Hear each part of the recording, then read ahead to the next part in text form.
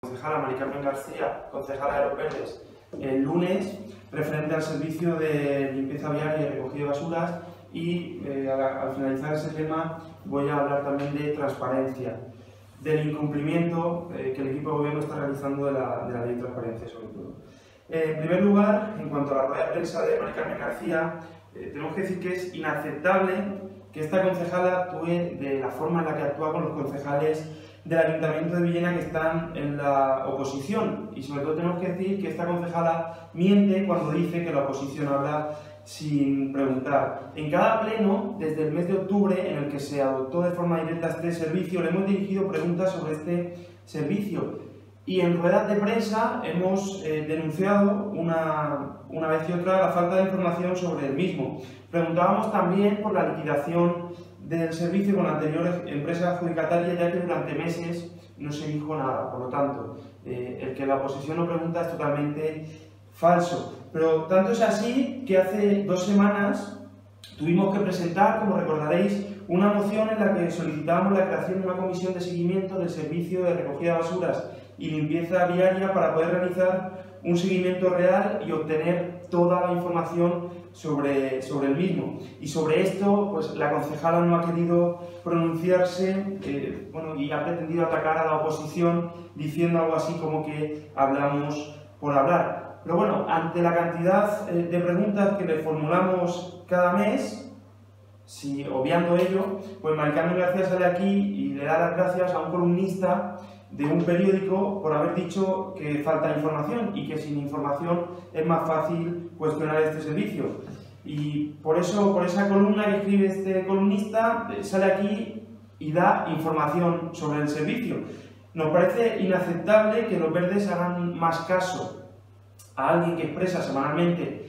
su opinión en un periódico que a los concejales de la oposición que han sido elegidos democráticamente por los vecinos de Villena y que hay que tener en cuenta que llevan meses reclamando información sobre este servicio. Es intolerable el menosprecio constante de esta señora a la oposición. Por sus actos los conoceréis y por sus actos vamos conociendo la forma de actuar de los verdes que dista mucho de aquello que defendían cuando no estaban gobernando. Pero bueno, más allá de todo esto y analizando el fondo de sus declaraciones y de la información aportada por ella misma, hay que escandalizarse un poco más. Y es que eh, aquello que decíamos durante mucho tiempo, desde el primer momento en el que se planteó la opción de que el ayuntamiento prestase este servicio de forma directa, pues es algo que ahora vemos que se ha cumplido y que reconocía la propia concejala, aunque luego se hacía de víctima de esos datos, pero son datos que ellos mismos han, han propiciado y causado. Eh, decíamos desde el primer momento que ni el ayuntamiento ni este equipo de gobierno tienen capacidad para prestar este servicio en condiciones óptimas. Y para ello, para darse cuenta de que esto ya se ha cumplido, basta con analizar algunas eh, de sus frases. Nos decía la concejala que si la gestión directa estuviese al 100% sería muy buena. Decía que no cree que van a tener el 100% de la plantilla, que solo con llegar a 30 personas ya sería bueno, decía que actualmente solo hay 19 personas en plantilla. Eh, también decía que, bueno, que si no tenemos personal, por mucha eh, imaginación que tengamos, y que incluso pues iban o estaban poniendo a prueba varias fórmulas en cuanto a la recogida de cartón a ver cuál funcionaba mejor, es decir, que 7-8 meses después todavía continúan con las pruebas. Eh, también decía que están en conversaciones con otros ayuntamientos a ver si les ceden trabajadores. Y es que todo esto es muy grave, porque es algo que les llevamos advirtiendo desde hace muchos meses, concretamente desde finales del mes de septiembre, que es cuando anunciaron la intención de realizar este servicio de forma directa. En base a esta información, que dicen que solo tienen 19 trabajadores y no los 40 que deberían tener como poco, pues lo único que podemos hacer es calificar este servicio de fracaso. Si hubiesen tenido las bolsas de trabajo como les hemos solicitado desde siempre, pues que las hubiesen tenido actualizadas desde un primer momento cuando deciden absorber este servicio y prestarlo de forma directa, no estaríamos ante estos problemas, pero es ahora ocho meses después siguen sin tenerlas y por lo tanto las bajas del servicio no se pueden cubrir. Obviamente no es culpa de la concejala que haya trabajadores que se pongan de baja. Claro que no. Lo que sí que es culpa de ella y de su equipo de gobierno es que no tengan las bolsas de trabajo que permitan cubrir esas bajas con otros trabajadores. Y eso es algo de lo que les estamos advirtiendo y por lo tanto no puede decir que, o hacerse la víctima, y claro, es que como no tenemos todos los servicios que tendríamos que tener, pues no podemos prestar este servicio de una forma eh, óptima, viable. Y es que eso es lo que le recriminamos desde el primer momento, que ni el equipo de gobierno ni el ayuntamiento tiene capacidad de prestar este servicio en unas condiciones óptimas y en unas condiciones que son las que la ciudad de Villena merece. Pero por su cabezonería, ahora hemos llegado a donde hemos llegado con las calles más sucias, incluso aceptando ella que hay semanas en las que el cartón de los comercios se mezcla con los residuos sólidos urbanos. Por lo tanto, en resumen, lo que tenemos es un servicio peor. Eh, tanto sindicatos como Partido Socialista como Izquierda Unida y nosotros mismos eh, nos hemos opuesto siempre a este servicio porque en las condiciones en las que lo estaban realizando los verdes no era viable y es algo que hemos dicho siempre. Y es algo que reconoció la concejala este lunes, que el servicio no tiene las condiciones ni el personal necesario para que se preste de la forma en la que la ciudad de Viena merece. Por lo tanto, volvemos a insistir y a solicitarle en primer término a la concejala Maricarmen García y en segundo término al alcalde y a todo su equipo de gobierno, y es que se dejen de ideologías imposibles y gestionen la ciudad, que pongan en primer plano la gestión de nuestros servicios y en segundo su ideología, porque claro está, está siendo un fracaso tanto por la incapacidad de actualizar las bolsas eh, de personal como de gestionar este servicio para que tanto en calidad como en precio sea mejor de lo que era anteriormente. Como ella misma reconoció, no está siendo así. Y en cuanto al segundo tema del que quería hablar, que está muy relacionado con el tema del que hablamos respecto al servicio de gestión directa,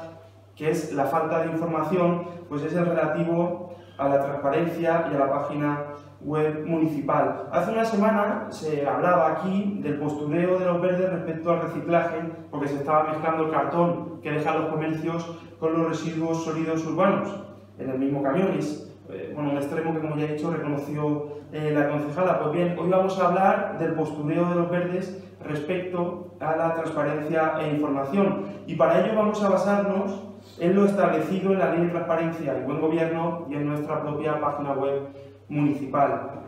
El artículo 1, el objeto de esta ley, dice que la ley tiene por objeto ampliar y reforzar la transparencia de la actividad pública, regular y garantizar el derecho de acceso a la información relativa a aquella actividad. Y en cuanto al ámbito de aplicación, dice que, que, este título, las disposiciones de este título se aplicarán, entre otros, a las entidades que integran la administración local. Por lo tanto, es una ley que regula eh, en materia de transparencia lo que debería hacer el Ayuntamiento de Viena y que no está haciendo como ahora veremos. En el artículo 5, por ejemplo, eh, dice en su apartado cuarto que la información sujeta a las obligaciones de transparencia será publicada en las correspondientes sedes electrónicas o páginas web de manera clara, estructurada y entendible para los interesados. Aquí la ley ya nos está diciendo que la información del ayuntamiento debe ser publicada en las páginas web de los organismos que entran dentro de ese ámbito subjetivo de aplicación y por ello voy a demostrar a través de nuestra página web cómo nuestro ayuntamiento incumple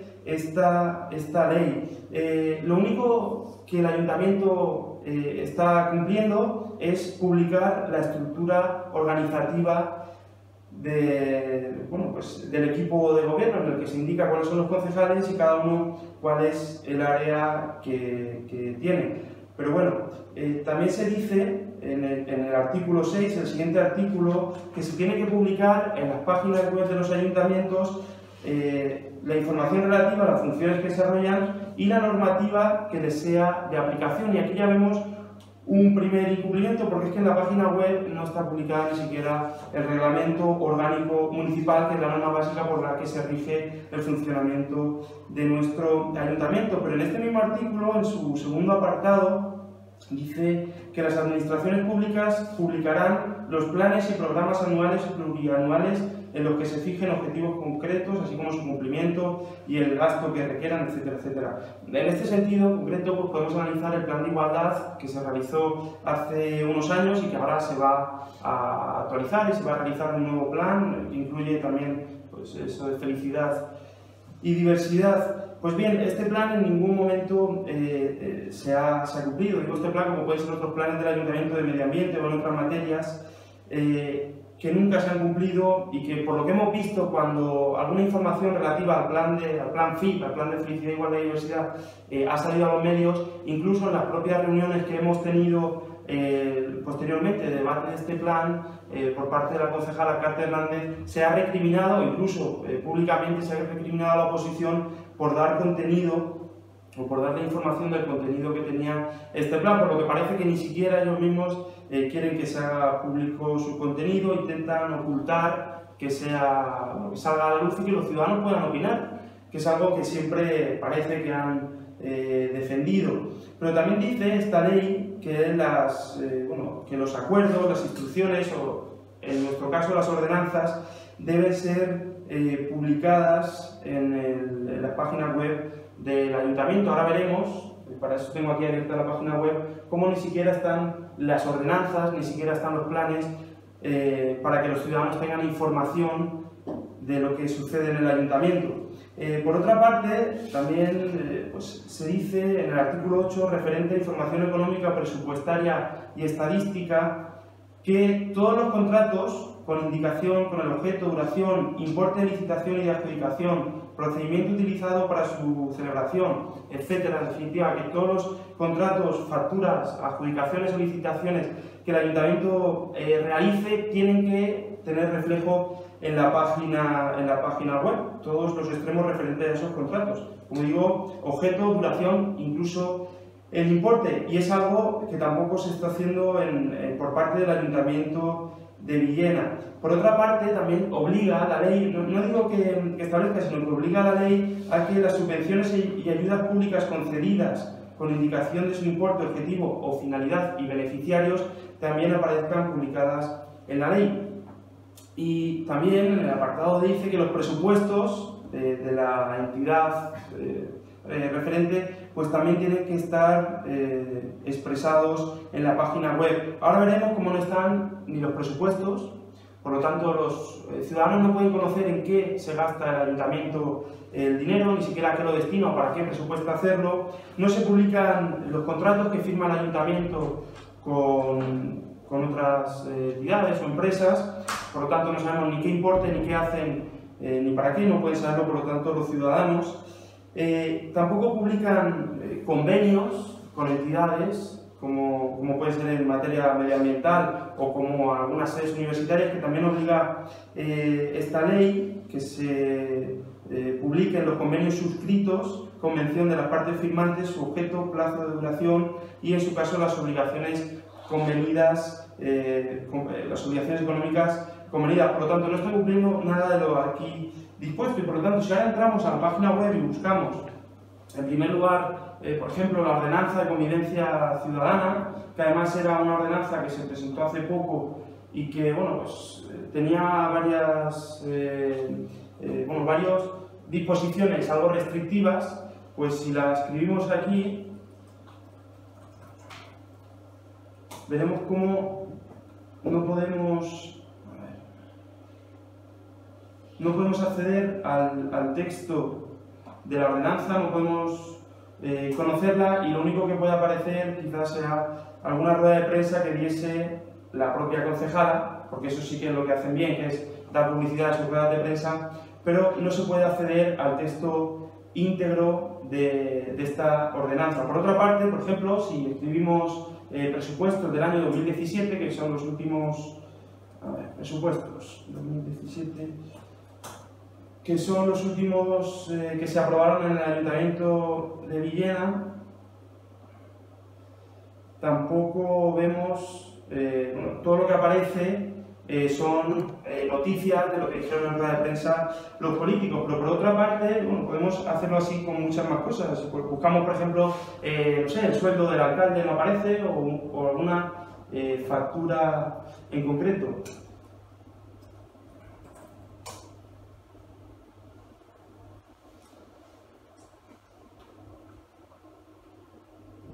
Como decía, eh, no es que no se tenga acceso, sino que ni siquiera eh, aparece eh, vamos, que no está, no está en la página web, no publican todo esto, por lo tanto, en definitiva, esta es la participación que promueven los verdes, la de no facilitar la información a los ciudadanos, ni siquiera a veces, como ya hemos denunciado y como hemos visto con Mari Carmen García, los partidos de la oposición. Por lo tanto, podemos afirmar que los verdes no son transparentes y se han convertido en todo aquello que criticaban.